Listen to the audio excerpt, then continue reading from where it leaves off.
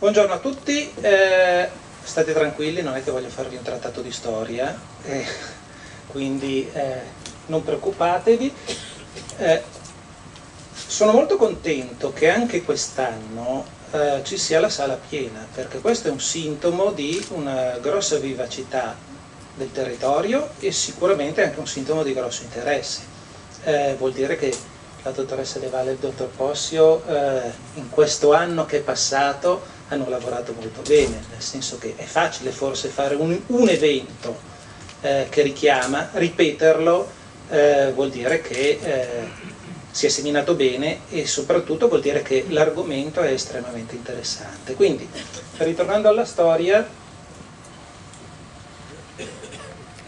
ritornando alla storia eh, volevo partire appunto dall'anno scorso. L'anno scorso, eh, se vi ricordate, eh, già il dottor Di Stasio aveva detto che si stava iniziando a vedere l'uscita dal tunnel della crisi, però eravamo ancora molto, in, molto dentro, forse lo siamo ancora oggi, eh, e la risposta per cercare di uscire da questo tunnel della crisi era stata questa, quindi l'in management, creare valore con l'innovazione gestionale. Quindi l'in management era sicuramente non la prima volta, perché non è la prima volta che si parla di lean, ma forse era il caso di riprenderlo, anche perché non tutti presenti in sala allora, come forse oggi, sapevano esattamente di che cosa si trattava. Quindi bisognava iniziare a parlarne. L'altro concetto forte era quello del creare valore.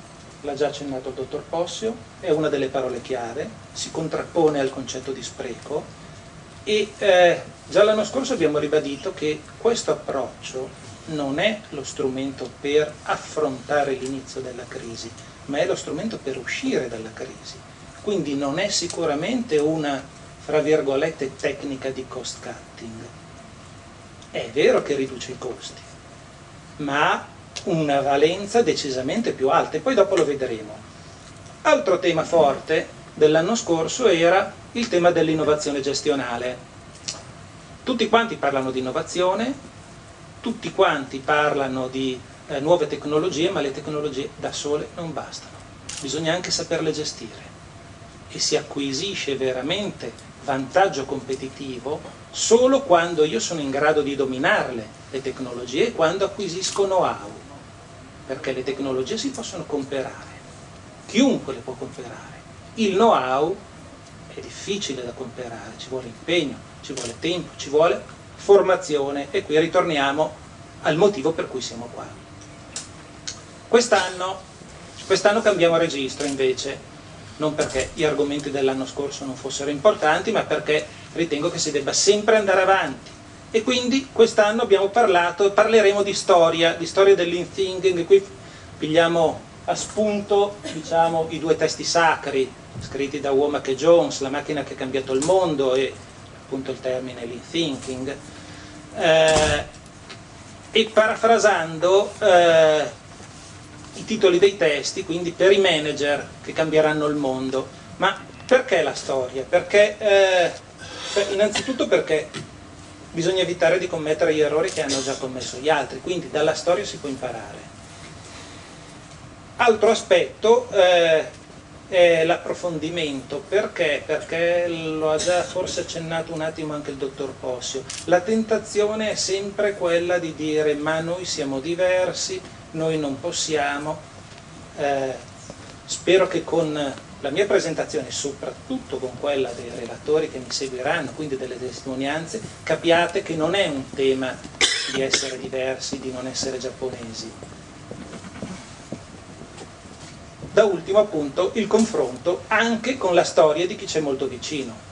E quindi sostanzialmente l'idea è quella di togliervi tutti gli alibi per affrontare questo percorso che è un percorso duro, difficile, ma che eh, secondo me e secondo molti è uno dei pochi percorsi che permette di garantire veramente la competitività e l'importanza appunto del fatto che eh, questo percorso lo devono affrontare prima di tutto i manager perché qui ritorniamo al tema della centralità della persona in questo approccio metodologico.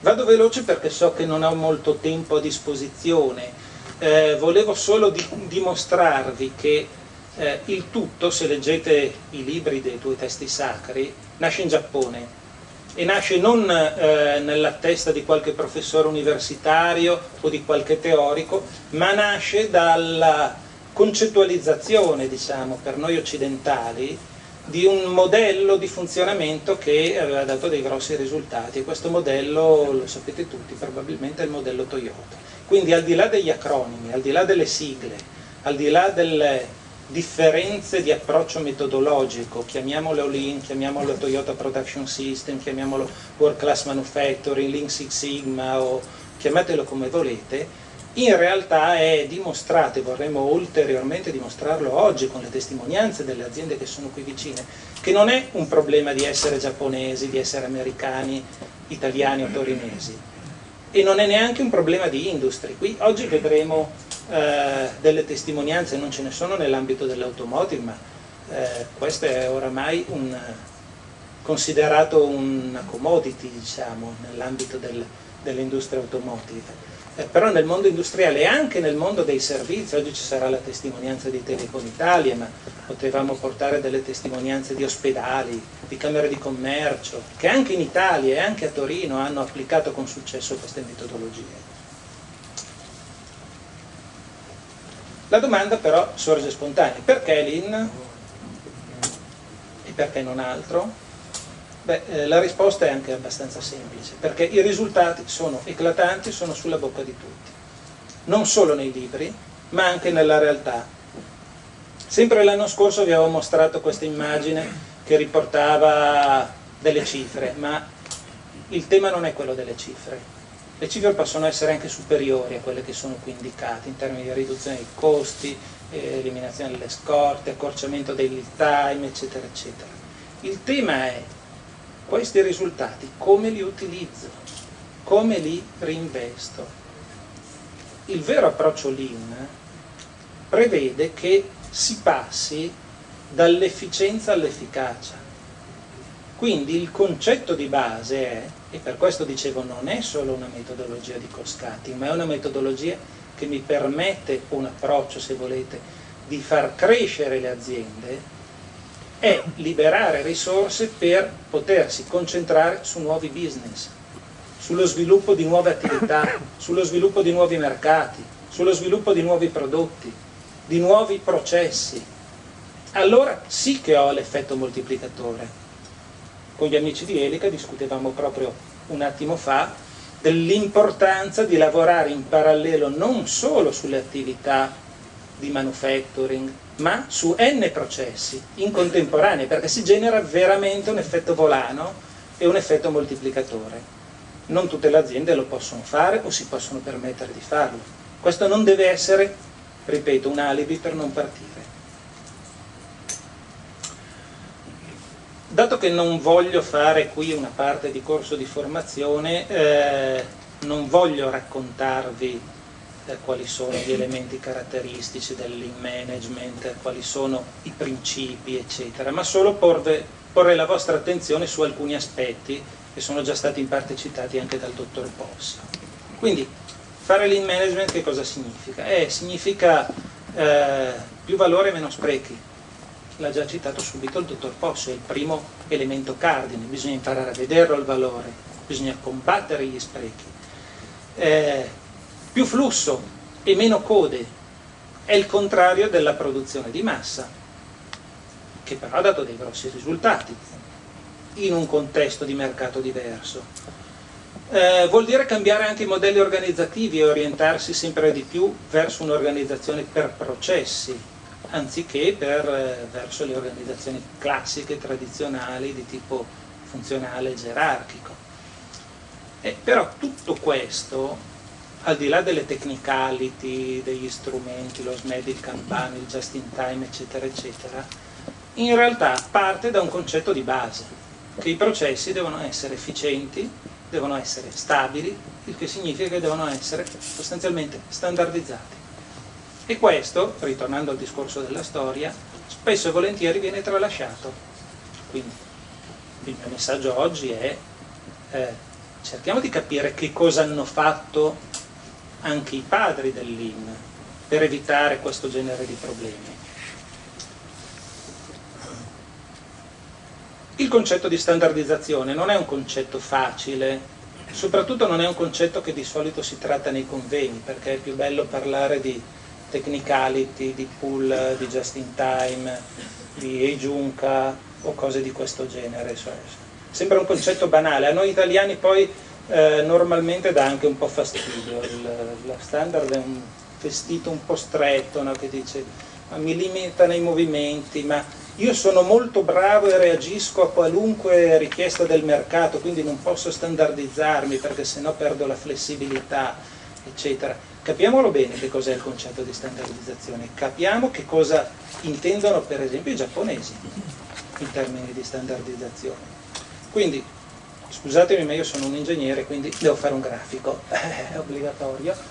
Quindi se noi abbiamo immaginate voi qualsiasi processo e eh, vediamo le performance nel tempo di questo processo, siano esse livello di efficienza, l'entità delle scorte, eh, livelli di qualità, eccetera. Se sono in una situazione altalenante di questo genere, eh, certo la prima cosa che verrebbe da dire è chiamiamo i consulenti, vengono qui, mi fanno due settimane Kaizen e risolviamo il problema.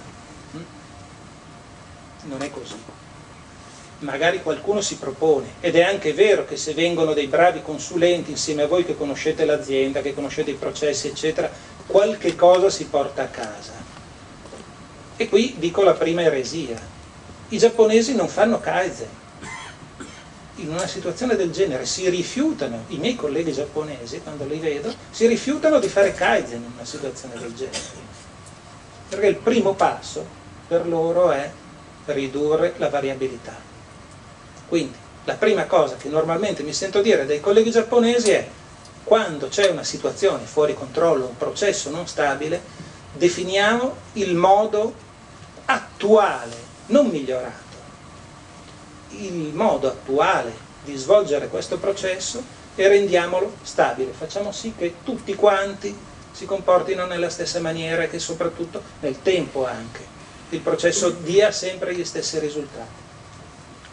Dopodiché ovviamente devo andare avanti, stabilizzarlo. E poi che cosa può succedere? Eh, può succedere che a questo punto sì, riesco a vedere quando ci sono delle, dei fattori esterni che mi generano delle perturbazioni. Qui non me ne rendo conto, non riesco a capire che cosa è successo. Allora a questo punto sì posso iniziare con tutte le tecniche di problem solving, eccetera, eccetera.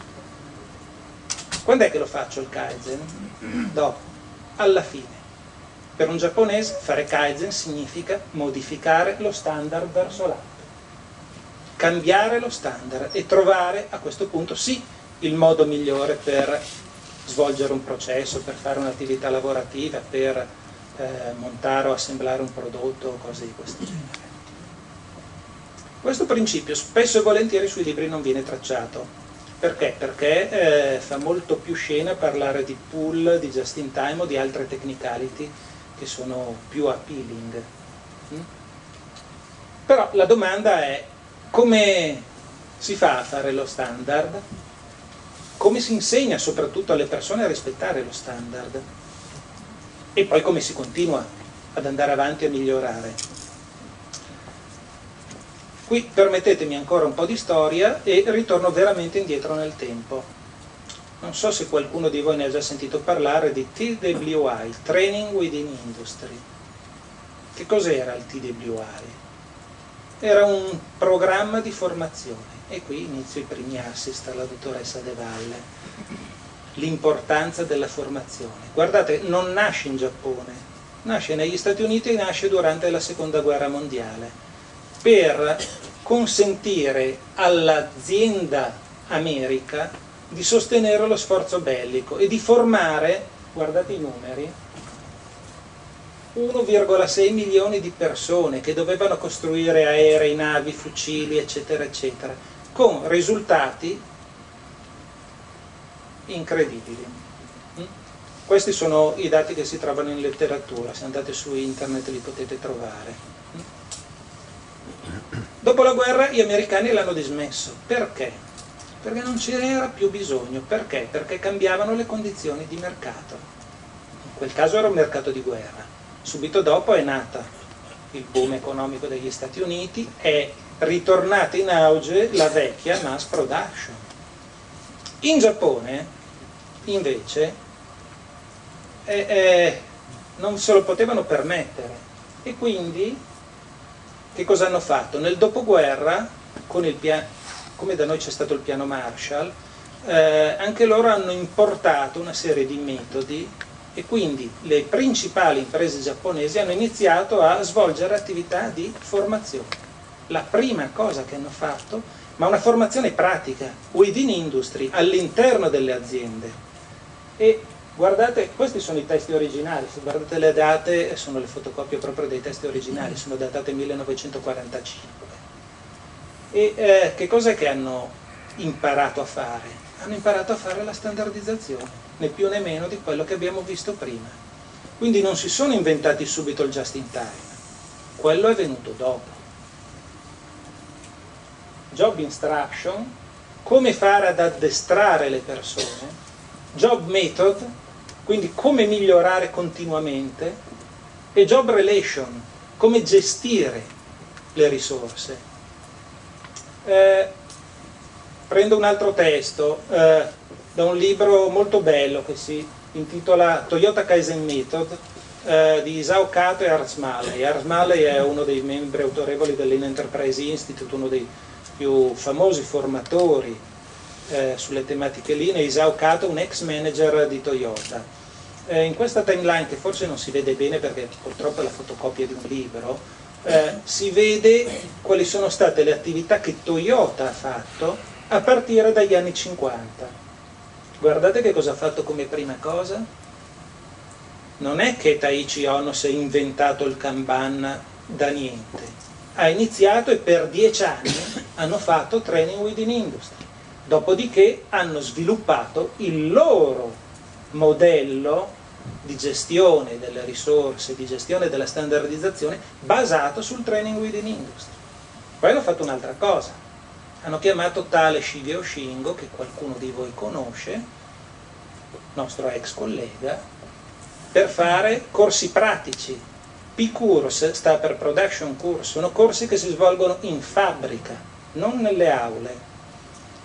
Eh, io mi ricordo in una cena che una delle aziende qui presenti si era anche dimostrata disponibile ad ospitare qualcuno, magari con la dottoressa De Valle, riusciamo a organizzare qualche P-Course, giusto? Poi il DPS lo hanno iniziato a codificare negli anni 70, prima non esisteva neanche, loro facevano le cose, non le scrivevano. E da ultimo il tema fondamentale del coinvolgimento delle risorse umane e dei sistemi di suggerimenti, che è possibile solo se io ho una quantità enorme di persone addestrate a svolgere attività standardizzate. Perché lo standard chi lo modifica? Lo modificano i tecnici, gli ingegneri, l'amministratore delegato, lo lo modificano le persone che lo applicano, perché sono loro che sono sul pezzo e che sono in grado effettivamente di portare delle migliorie. Qui nasce il vero e proprio concetto del Kaizen alla giapponese. Vado veloce. Quindi Qual è il percorso? Percorso che vi proponiamo. Formazione, perché bisogna capire, essere consapevoli, formazione base. Poi ancora formazione, perché comunque ci sono le technicality. Non pensate che applicando le technicality fa, fa, siete in grado di fare Lean o il VCM, però le technicality sono importanti. Poi Altro aspetto fondamentale, eh, la trasformazione linea è un processo top-down oltre che bottom-up, quindi deve essere ben pianificata. Ci sono anche delle tecniche per pianificare e per sviluppare un piano organico di miglioramento. Poi bisogna fare, signori, eh, non viene gratis, bisogna impegnarsi e impegnarsi tanto. Da ultimo, una volta fatto, eh, abolite la parola progetto e iniziate a parlare di programma, nel senso che non finisce mai. Toyota non smette, eh, le aziende veramente brave stanno continuando a lavorare su questo punto di vista. Solo così si possono ottenere dei risultati eclatanti e significativi. Chiudo mostrando un'immagine eh, che eh, il dottor Possi ha già visto in un convegno che, a cui ha partecipato l'Associazione Industriale di Vicenza e che prendo a prestito dal mio collega Nobuyuki Tamaro, che vuole essere un, incita un incitamento eh, e anche un modo per togliervi gli alibi. Non iniziate a dire ma noi non siamo abbastanza snelli, non possiamo perché la nostra azienda è diversa, eccetera. Cioè, non esiste il modello da applicare fotocopia, reinventatevi il vostro modo e pensate che chiunque può volare. Grazie.